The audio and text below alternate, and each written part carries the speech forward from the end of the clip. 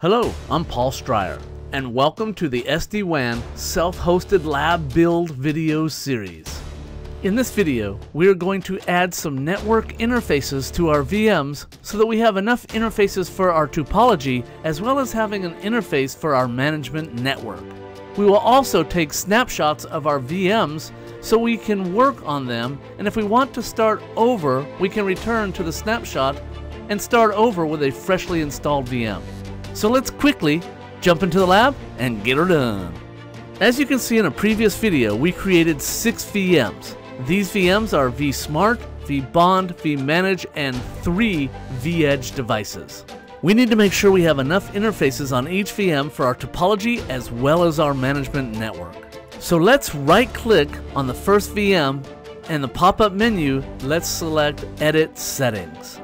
So once it opens, we'll see that we only have one network adapter on the vSmart. So if I go to the top and click on Add Network Adapter, notice that it adds it. Now, as you can see, both the adapters are an SD-WAN control. You are going to want to create another network in your ESXi to attach your management network to. Viptela creates a management network called 512 interface by default so you can create a VLAN 512 to connect that to and have all of your VMs and if you have hardware attached via that network.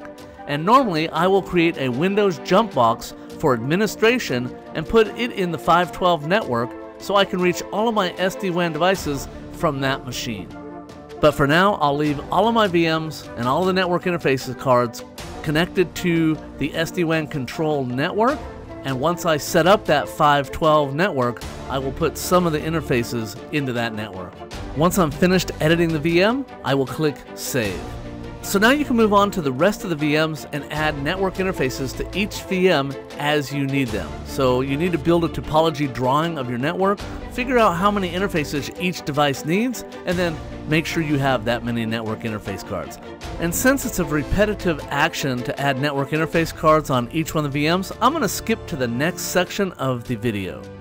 In this next section, we're basically going to make backups of the VMs in case we mess them up and we want to go back to the beginning, we won't have to reinstall them. So all you have to do is right click on any one of the VMs. I usually start at the top and work my way down, click on snapshots and then take snapshots. Then you just have to go ahead and put in a name and I usually give a pretty good description so I know where I left off in that snapshot and then I click take snapshot button at the bottom.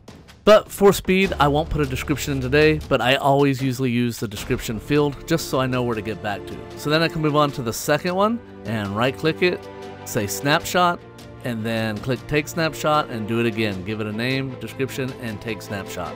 If you need to return to a snapshot or restore, all you have to do is go to snapshot and then manage snapshots. And in that window, it'll allow you to restore back to a snapshot. And you can take more than one snapshot. You can take one now at the beginning, one after the initial configuration, and then one after you're completely finished configuring so you have three different states to go back and forth between. Thank you for watching this video, and I look forward to seeing you for future videos. This is Paul Stryer. Have a good day.